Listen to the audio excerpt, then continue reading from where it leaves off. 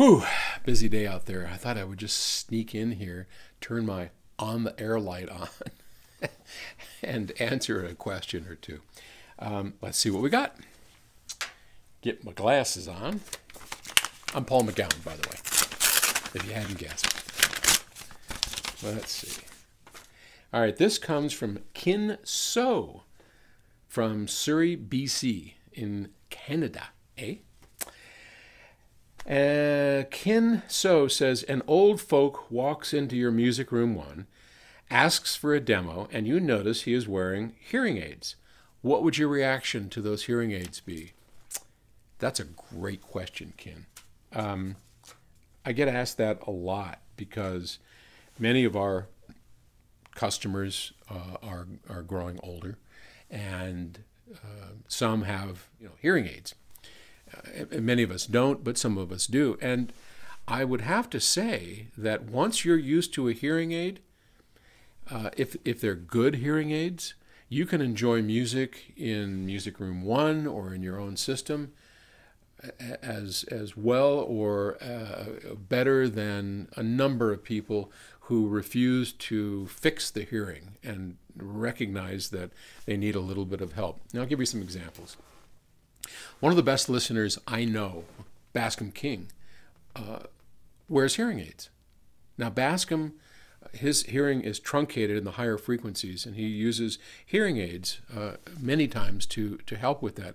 And Bascom can pick out problems in a stereo system like few people on the planet. He can just sit there and listen to what's going on and go, that is a capacitor problem. That is a low frequency problem. That is a, you know, whatever it may be. Bascom is one of the best listeners I've ever heard, very experienced, and wears hearing aids. I know other people who refuse to wear hearing aids. Uh, our, our chief engineer, Bob Stadtherr, is a, is a great example. He can't, whenever there's a buzz or, or something going on, uh, that we all sit and go, You hear that, right? Or that clicking or whatever in the lab. Nope doesn't hear a thing. He can't hear over, I don't know, 1,000 cycles, 2,000. It, uh, uh, it just has terrible high frequency hearing. Yet, Bob is also an excellent listener. When we play classical music, you know, it's that doesn't sound like the horn should. That doesn't sound like strings should. What happens, and, and this is just a pet theory of mine, I, I have no scientific basis whatsoever on this, but this is just something that I've observed over the years.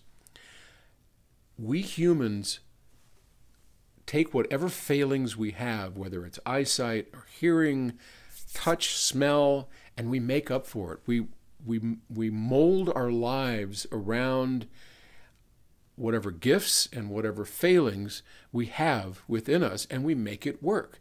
And, and we do that because our senses are there to help us navigate through our world, right? Hearing's important because we want to hear somebody's approaching, or there's danger, or I'm in the woods and all of a sudden there's a bear. Um, I want to know where that bear is and where he's coming from so I can kind of avoid the guy, right?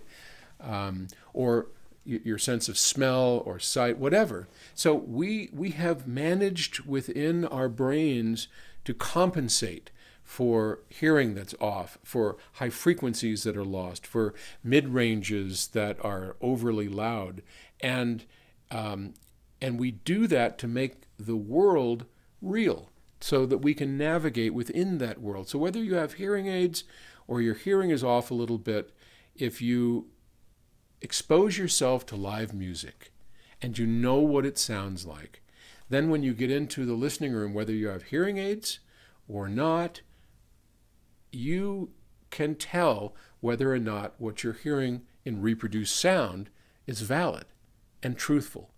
All you really need is exposure to real music, what real sound is, and, and you're in good shape.